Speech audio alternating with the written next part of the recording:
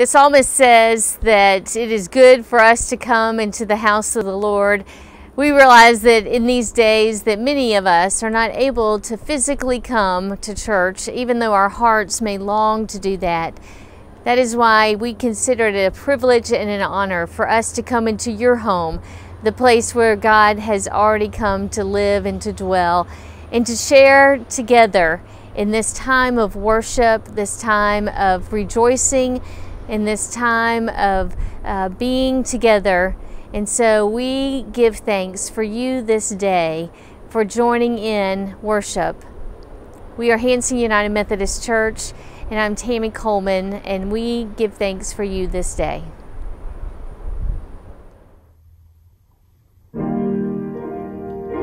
Many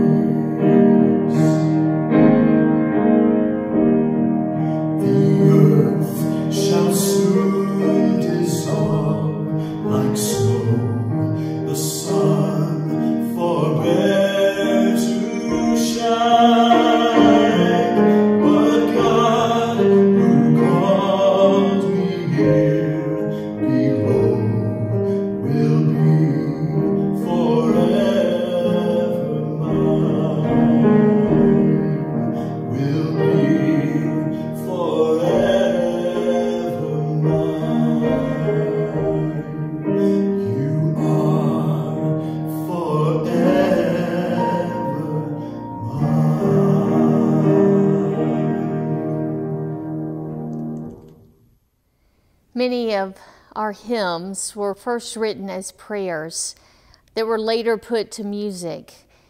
And we uh, can sing these prayers and lift them up, but often it's good to go back and just pray these words. So I invite you to pray with me this day these words that come from our hymn, Breathe on me, breath of God. Let us pray. Breathe on us, breath of God. Fill us with life anew, that we may love what you love and do what you would do. Breathe on us, breath of God, until our hearts are pure, until with you we will, your will, to do and to endure. Breathe on us, breath of God, till we are wholly thine, until all this earthly part of us glows with your fire divine.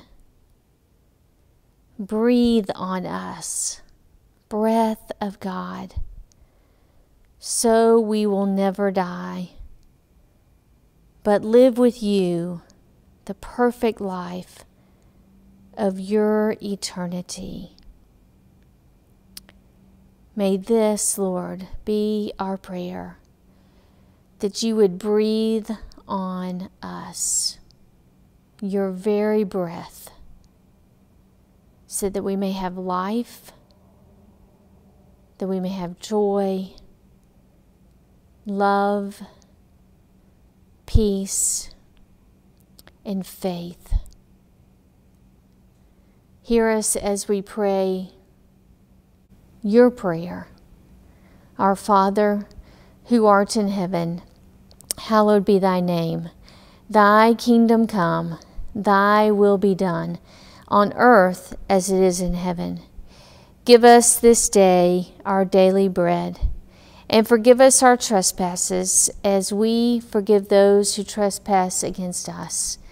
And lead us not into temptation, but deliver us from evil. For thine is the kingdom, and the power, and the glory forever. Amen. In our time of offering, we want to continue to be mindful of how we give to God because He has given so generously to us. These gifts that you give to our, our local church and allow us to be a ministry to our community and to those around the world. So thank you for your generosity to God this day.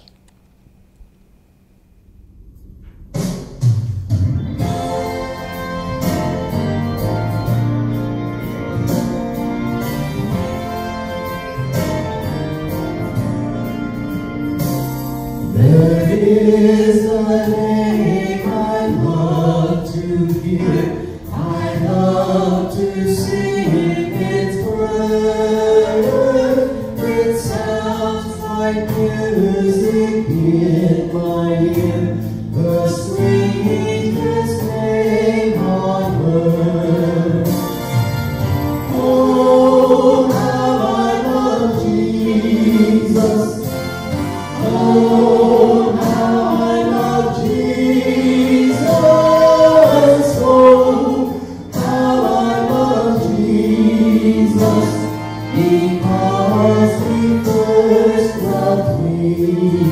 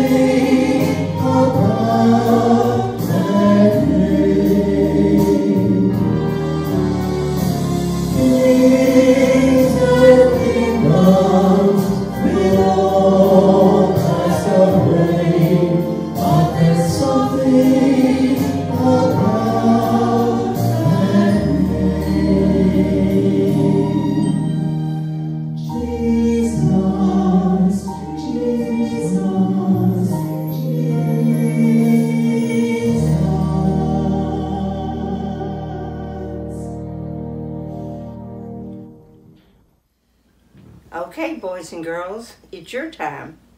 Good morning, boys and girls. I hope that you and your family are doing great. I hope that you're well and happy, and I hope that you will enjoy your day. We're going to begin children's sermon by reading from God's holy word. And God's holy word is the Bible. And this morning the scripture is short, but it's powerful. And it's found in Matthew chapter 5, verse 7. Blessed are the merciful, for they will be shown mercy. And when I read that passage of scripture, and I thought about a man named George who owned a grocery store, all of these things together just happened to remind me of a story. Well, George owned a little grocery store in his neighborhood, and it uh, was called George's Minute Mart. And George sold a lot of things in his grocery store. He sold milk and bread and canned goods. He had a little deli, and he also sold newspapers.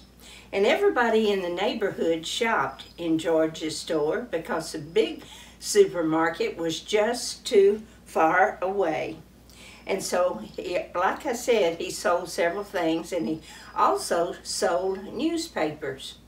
And one day, while he was at the cash register checking someone out, one of the ladies or one of the young women that shop there real often, he noticed that she reached down and picked up a newspaper and put it in her jacket. And George thought, she's stealing that. I'll overlook it today and I'll watch her the next time that she comes in. Well, there was a lady in the store who was kind of known as the neighborhood busybody. She saw her put the newspaper in her jacket. She reached in her purse, pulled out her cell phone, and dialed 911. And immediately the police, the fire truck, the first responders came because she told them there was a robbery going on at George's Mini Mart. Well, the police came in and said, George, are you having a robbery? And he didn't say anything, and this Miss Busy, Busybody said, There she is, I saw her. She stole a newspaper.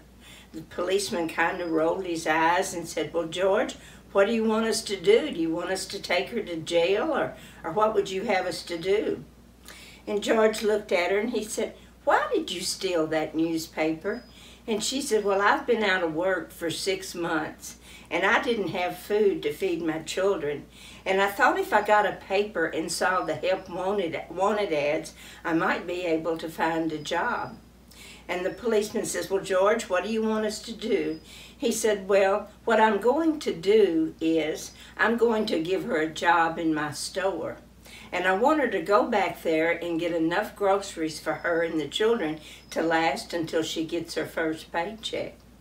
Well, Miss Busybody said, Huh, I think everybody learned a lesson there that day because you see, George showed her mercy. And what is mercy? Mercy means not getting punished uh, when we deserve it. And just as George showed mercy to that woman and forgave her, so God gives us mercy for things we've done wrong, and He forgives us. Jesus said, Blessed are the merciful, for they shall be shown mercy. I don't know about you, but I'm sure glad He does. And there's two things that we can learn from this about God's mercy. We can thank Him for it, and we can show mercy to other people when they do something harmful to us. So let's bow our head for a word of prayer. Dear Father, thank you so much for showing us mercy and forgiving us when we do something wrong. Help us to remember to show mercy to others when they say or do hurtful things to us. In Jesus' We are continuing our journey, our in depth look at 1 Corinthians 13, this love chapter. So often, when we hear uh, these familiar scripture passage or any familiar scripture passage, our tendency is to say, yeah, yeah, yeah, I know that one. That's not anything new or that's familiar to us. And when it, we become familiar with something, we get complacent around it. So I want us to continue to challenge ourselves as we are, are wrapping up this series in the next couple weeks. Uh, to put ourselves in this place, to put our name in where it says love, for us to be challenged to hear this word anew to us this day that, that God wants to speak to us. So 1 Corinthians 13, beginning with verse 4, says this Love is patient and love is kind. It does not envy, it does not boast, it is not proud, it is not rude, it is not self seeking, it is not easily angered, and it keeps no record of wrongs. Love does not delight in evil, but it rejoices in the truth. Love always protects, love always trusts, love always hopes, and love always perseveres. This is the word of God for us, the people of God. Thanks be to God. So, today we are looking at love always protects, love always trusts or believes. Love always protects, love always trusts or believes. Protection. I don't know about you, but the end of a long day, at the end of maybe a long week, there's nothing like pulling in the driveway and entering your home, the thing that is familiar, that is comfortable, a place of welcome and rest, and that there's a time of protection there.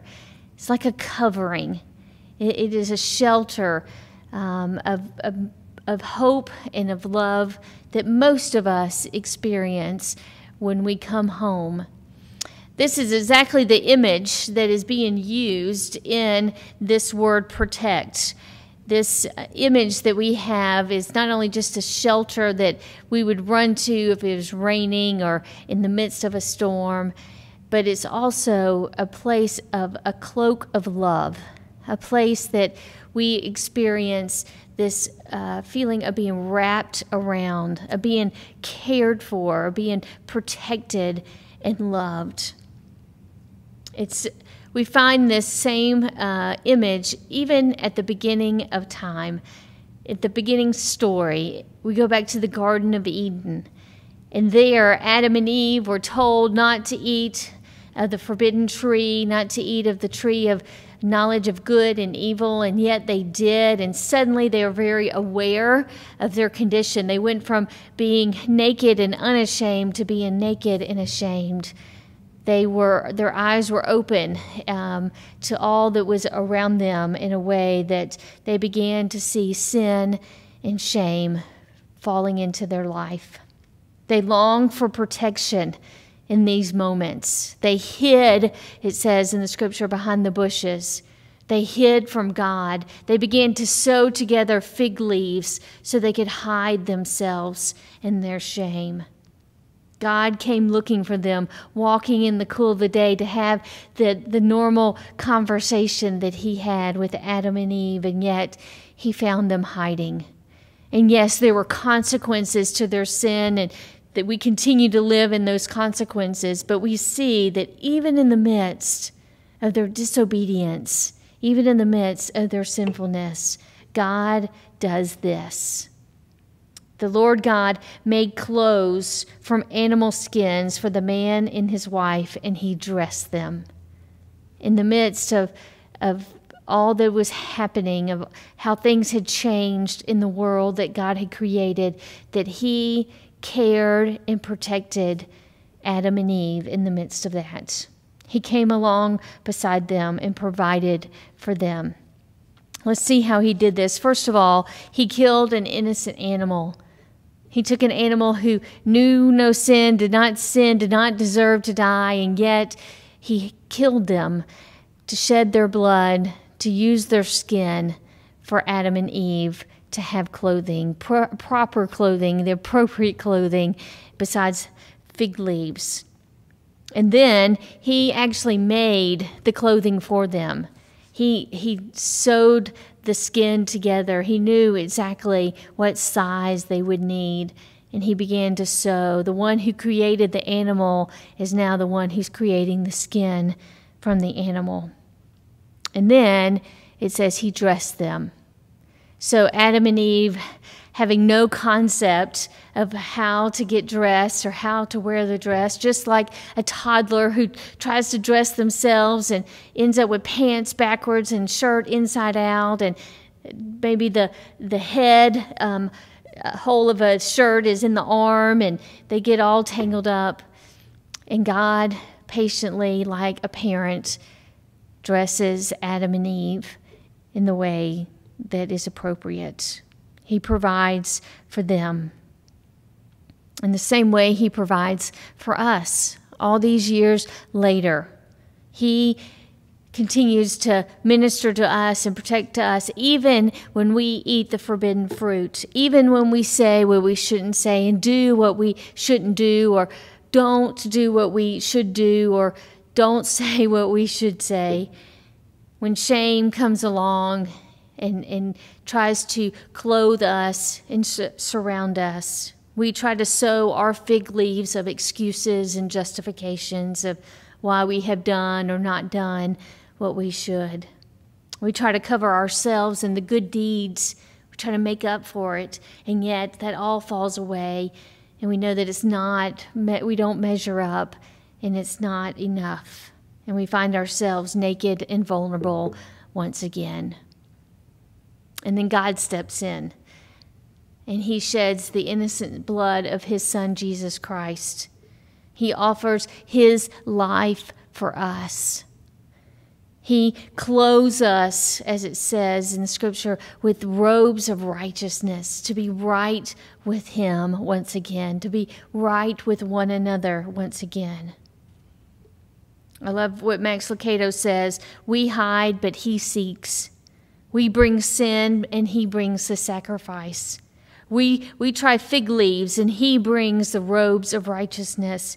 And we are left singing the song of the prophet Isaiah when he says, He has covered me with the clothes of salvation and wrapped me in the coat of goodness, like a bridegroom dresses for his wedding, and like a bride dresses in jewels.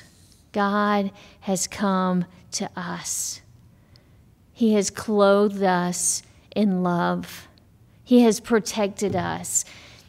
Can you take just a moment to reflect on your life? Where has God protected you? Maybe you didn't see it in the moment, but now looking back, you see where God has covered you with a cloak of love and protected you. Maybe He protected you from a, a, harmful workful work environment. Um, that you didn't get the job and you only learned later that how toxic that environment was. Maybe he protected you from a bad relationship. Maybe he protected you from a wreck or an accident. Are there times when God has protected you from false accusations? It says in 2 Thessalonians 3 3, He will strengthen and protect you. In Psalm 91, He will command His angels to guard over you. God protects us with His cloak of love. And He calls for us to always do the same with one another. Because He has done it for us, we are called to do it for one another. Always, always, always, we do it in response to what He has done for us. We love because He first loved us. We do it unto the least of these because He has done it unto us, the least as well. We serve because He has first served us. So we cover our, our neighborly, our neighbor who is elderly with a weekly check in just to see how they're doing and make sure that they're all right. We cover a, a sick child with chicken noodle soup and comforting words that it's all going to be okay. We cover a teenager by showing up at their games and, and, and cheering them on so that they know that they are loved. We cover the lonely with a phone call to let them know that indeed we're thinking of them and they are not forgotten. So, why do we cover people in love? Why do we come along and, and help protect them? It's because we believe in each person.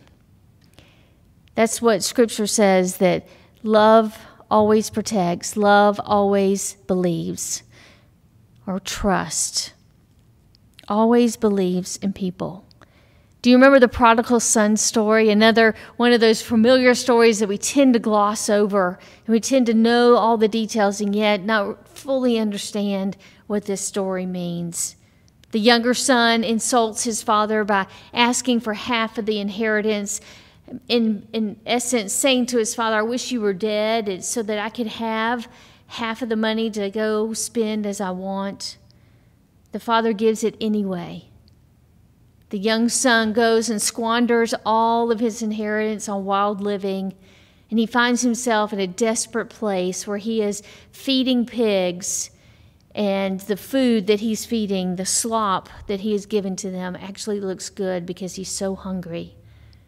And so he begins the journey home and the rehearsal of the script that he's going to tell his father how he does not deserve anything, but if he could just allow him to work for him, he would be glad to do it. And yet the father sees him from long away away, and he starts running toward his son, who is dead and yet is still alive to him. And when he sees him, he tells um, the, the servants, Get my robe and put around him that cloak of love to wrap around him. And get my ring, he says, and put it on his finger. In Jesus' day, a ring was more than just a, a gift, it was more just a, a beautiful um, piece of jewelry to wear. It was the symbol of authority and sovereignty. Anyone who had the family ring could speak on behalf of the family, could do business on behalf of the family, could sign and do transactions on behalf of the family. And here, this youngest son who had squandered and, and basically thrown away half of the family's inheritance is being given the chance to sign and to do business on behalf of the family because the father believed in him. The father trusted in him. The father, our father, our heavenly father, believes in us in the same way. He has given us the authority to speak on his behalf here on earth. He has given us the ability to do business for him, to be his hands and feet and guess what? We've often squandered the blessings He has given to us, the gifts and the talents that He has entrusted us with. We have promoted ourselves instead of promoting Him. We have taken His gifts and used them for personal gain. We have often been mesmerized with the trappings of this world and forgotten our purpose in this life. And yet He still believes in us, He still trusts us. He still covers us with his cloak of love, his robe of love, and he gives to us the ring that signifies that he believes in us. Robert Rosenthal did a test with elementary school students and their teachers. He and the principal uh, came together and decided they would test every student in each class, they randomly selected five or six students to tell the teacher that these are the students that scored exceptionally high and they had uh, exceptional learning abilities. And so they told the names of, of these children to the student, I mean, to the teachers. And yet, in reality, these students scored average, just as average as most of the other students in the class. They, they didn't score exceptionally high. And yet, by the end of the year, when they were tested again, their, their test scores went up immeasurably because the teachers, whether they realized it or not, treated those students differently. They, they saw that their tone of voice, their interaction with the students, their facial expressions, often just a touch, that communicated their expectations to these students that they believed in them, that they saw potential in them. And at the end of the year, there was significant results because of that. The attitude of these teachers, without realizing, made these students better because they believed in them. Have you had a teacher or someone who's believed in you like that? who has seen the potential in you and, and what that did for you. In seventh grade, I had Miss Rains as a homeroom teacher. She was my language arts teacher. And up until seventh grade, I had always scored a, a grade level behind in reading, in my skills and my comprehension. But in seventh grade, that changed because Mrs. Rains saw potential in me. And she began to believe in me as no teacher had ever done. She began giving me books that she thought I would be interested in. That year, I read Corrie ten Boom's The Hiding Place. And a whole new world opened up for me. Reading wasn't just a chore that I had to do, that I had to endure, but it became a place that I could escape and learn and to uh, find freedom in reading what was out there. that year, not only did I begin to read on grade level, but I even went above. It was all because Miss Rains believed in me. The difference that love can make when we believe in one another, when we see the potential of God working in each person. When we come along people alongside people and we we surround them with the cloak of love and we give them the ring that says I believe in you. Just as God has done it for us so we do it for one another. So who who is God calling you this day to show that cloak of love? Who is God calling you today to put on the ring of belief, to say, I believe in you, so that that life is transformed, continues to be transformed in the love of Jesus Christ? Let us pray. Lord, we are grateful that you believed in us, that you continue to pour out your love upon us, that you clothe us in your righteousness. For all that you have done for us, Lord, give us the courage and the strength to do for others.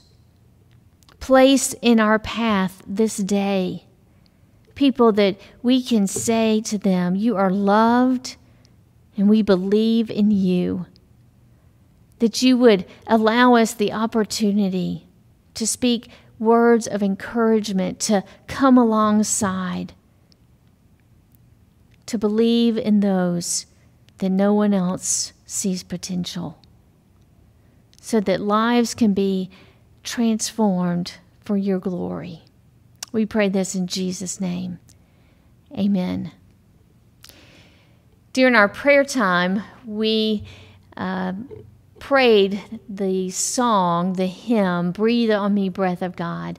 And we'll conclude this worship service by singing that very hymn. Will you join with us?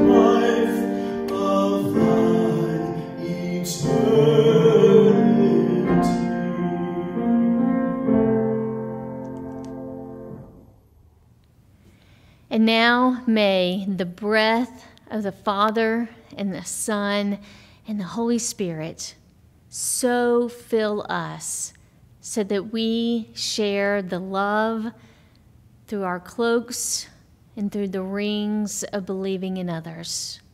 Amen.